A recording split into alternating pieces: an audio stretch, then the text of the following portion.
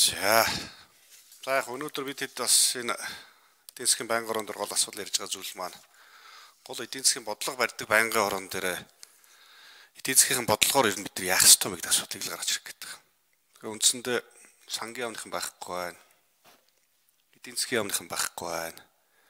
Сайд дарга төрийн нэрийн бичиг газар хэлцийн дарга нар нүг нэг чи бодлогоо ярмаар гэх. Бидний ярих гэдэг асуудал эргээд эн чинь амьдрал өөр хүнд биш үү? Иргэдийн амжиргаа орлого хүнд байна бизнесийн үйл ажиллагаанд хүндрэлүүд байна. Татврын ачаалал дарамтууд байна. Тэгээ энэ гişүүдийн ярьж байгаа зүйлүүд л ерөн зүгээр яг өнөөдрийн нөхцөл байдал амжиргаа орлого хүнд байгаа учраас энэ жолоодлогогүй инфляцийн нөхцөл рүү орчих байлаа гэсэн болгоомжлог байдаг.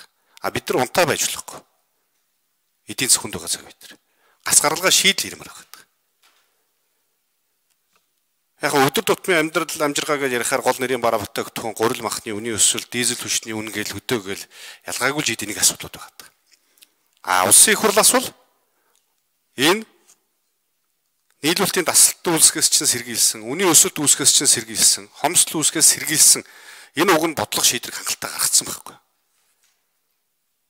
22 оны 6 сард буюу баг одоогоос жилийн өмнө улсын их хурлаас энэ хөрөнгө санхүүгийн шийдвэрлж өгсөн улсын төсөвт суулгасан. Төр нэг талтаа ингээд оролцоод интервенц хийгээд санхүүжилтийг шийдвүлээд яваад байдаг. А үр дүн нь амьдрал дээр хэрэгжихгүй гэдэг. А хэрэг тэгвэл төр ингэж оролцож интервенц хийж чадахгүй байгаад байгаа бол бид нэр яах ёстой юм бэ? Хувийн хвшилтэнд тавиад, хувийн хвшлээ дэмжиж явах эсэргээрээ иргэдийн амжиргаа орлогыг дэмжсэн инфляцтай уялдуулсан бодлогоодыг гаргаж явах ёстой юм уу? Амжиргаа орлогын дэмжих бодлого юу байх ёстой юм бэ? Цалин тэтгэл тэтгэмжийг хүрхгүй байна гэдэг асуудал байна. Бизнесийн үйл ажиллагаатай холбоотой хүндрэлгээд аваад үзэхээр одоо ерөөсөө өнөөдөр үүсэж байгаа бүх зүйл дээр л гол номер 1 асуудал валютын асуудал байна. Ханшийн асуудал. Сүүлийн 2 жил хангалттай өссөн, эрс өссөн. Бууж байгаа зүйл байхгүй байгаа. Тэгэл нөгөө нэг бараа бүтээгдэхүүн оруулж ирж байгаа, импортоор оруулж ирж байгаа аж ахуйн болгон дээр ч л ачаал болж байна. Хил галаар оруулж ирнэ.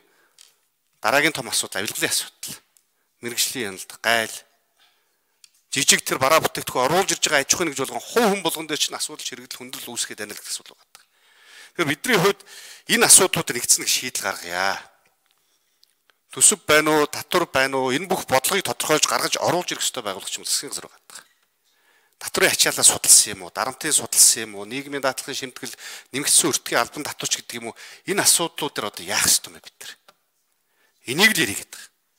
Тэгээ байнгын дарга яри гэхээр эдийн засгийн байнгын биш эдийн засгийн яам сангийн яам энийг асуудал хариуцсан байгууллагуудаа бид нар бас яг асуудлуудаа ярмаар байна. Улсын их хурл гаргасан бодлого шийдвэр эдийн засгийн энэ эслээс хүндрэл үүсгээс сэргийлсэн энэ бодлого шийдвэрийн хэрэгжлүүдийг бас эргэж ярмаар байна. Үр дүнтэй болж гэнэ болохгүй. Энэ дээр үнэлт өгөлт өгмөр байна. А том зургаараа бид нар цаашдаа одоо ер нь яаж энэ үнийн өсөлтөөс сэргийлэх бодлогыг ер нь хийх ёстой бэ гэдэг нэг дүр зураг гаргаад зөрөгтэй шийдэл гаргаад ингээд нэг явахгүй болвол ингэж унтаа болвол баймааргүй л гэдэг асуудал ярих гэдэг. Одоо тэгэхээр би зүгээр нэг талдаа энийг асуух асуулт бол их алга. Үндсэндээ төрөөс бид нар жишээ жишээ болгол би хийж байгаа юм л да одоо. Хүнсний үйлдвэрлэл худалдаа үйлчлэгээ газар тариалан мал аж ахуйн үйлдвэрийн салбарууд бид нар Улсын их хурлын тогтоолоор 2023 оны төсвөөр 1 их 84-ний хөнгөлөлтөй зээл.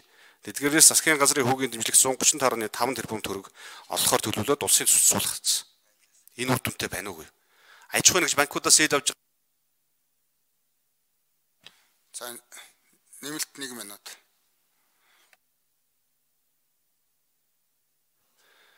Энэ чиглэлийн аж ахуйн нэгж байгууллагууд тэр иргэд чинь энд хамрагдаж чадчихэв нүггүй. Яг очиод хөдөө оронд гэдэг юм уу эсвэл тэр суман дээр баг дээр хоронд орчиод ярихаар би өөрөө үйлдвэрлэл эхэлдэг энэ чиглэлээр чинь ажилдаг надад тэр чинь бол ирэхгүй байна хүртээмжгүй байна бид нар тэр шиг шалгуун шаардлагыг хангаж дийлэхгүй байна л гэдэг асуудал яриад байгаа. Тэгэхээр бидний бодлого чинь хөрсөн дээрээ буухгүй байна. Үн бүтээгдэхүүн чинь нөлөөлөхгүй байна. Хомсдол эрсдлийг хамгаалж чадахгүй байна л гэдэг асуудал байна. Тэгэхээр энэ дээр шийдэл ярмаар байна банк оронд байгаа. Тэгэхээр тусдаа одоо яг эдийн засгийн яам, сангийн яам хамтраад энэ шийдэл ярив болохгүй байгаа бол асуудал байгаа бол асуудлуудаа ярив. Гац гаргалгын шийдлийг. Тэгээд дахид зарлах юм уу яах юм одоо энэ дэр нэг тийм шийдлийг бол бид нар улсын их хурлаас тодорхой энэ дэр шийдэл гаргахгүй бол иргэдийн амжиргаа орлогыг дэмжих, аж ахуйн нэгж байгууллагуудын бизнес үйл ажиллагаанд өндөр өвчрөж байгаа асуудлуудыг шийдэх шийдлийг ямар ч гаргах хэрэгтэй гэж харж байгаа. За Тэмүүлэн гишүүн тодорхой саналууд хэллээ. Ер нь одоо төрөмжгөл одоо Бакер гişиг үлсэн, Заватар гişиг үлсэн хамгийн гол нь өнөөдөр орж ирээд яг одоо асуудал юм байна тодорхой байна. За энийг гол нь оншилж тодорхойлсон дээр оншин онш юу гэж оншилж байгаа юм бэ? Учир шалтгаан хаана байна гэд асуусан. За тэн дээр бол одоо халихуулт ингээд тойруулаад л одоо ингээд ганц нэг юм хариулт авлаа. Тэгвэл хамгийн гол нь гарц гаргалгаа шийдэл нь хаана байгаа юм бэ гэд. Тэгэхээр өнөөдөр бол ийм бүрэлдэхүүнтэй бид нар тав хүнд энэ суучаад бид хүн суугаад одоо засгийн газар маань ямар шийдэл бодолтой энийг энэ одоо асуудал байгаа гэж үзэж байгаа бол энийг ингэ шийдэх гэж байгаа гэдэг юм бидэнд хариулчих хүмүүс хэрэгтэй байна л да. Одоо та гэд хариулахаар гом байна уу? Ер нь бол энийг цааш нь үргэлжлүүлж бид нар энэ одоо энэ асуулга энэ мэдээлэл авах энэ үйл ажиллагаа үргэлжлүүлж явуулах хэрэгтэй юм байна гэж одоо